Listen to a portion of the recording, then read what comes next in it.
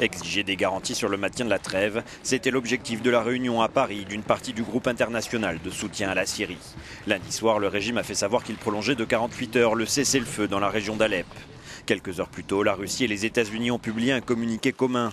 Ils s'y engagent à trouver une solution politique et une trêve au niveau national. Depuis Paris, John Kerry reste prudent. Ce sont des mots sur une feuille de papier, ce ne sont pas des actes.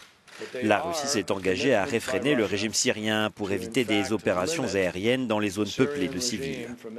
Et aussi à travailler avec le commandement au sol pour aider à apporter la stabilité.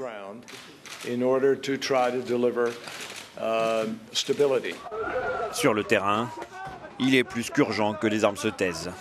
Tandis qu'Alep semble temporairement épargné, c'est Idlib qui se trouve sous les bombes. Selon les casques blancs syriens, dans la journée de lundi, au moins une attaque aérienne a touché une banlieue de la ville du nord du pays.